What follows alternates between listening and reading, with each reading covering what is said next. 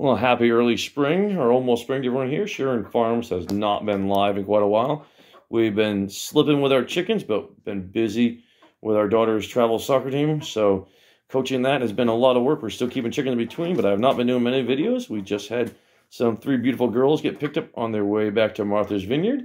And we have these girls left over that'll be going back into the hatchery here shortly. But I wanted to make sure we got at least a picture of some of our new beautiful girls that we'll have available. They're going to be getting picked up right now this month.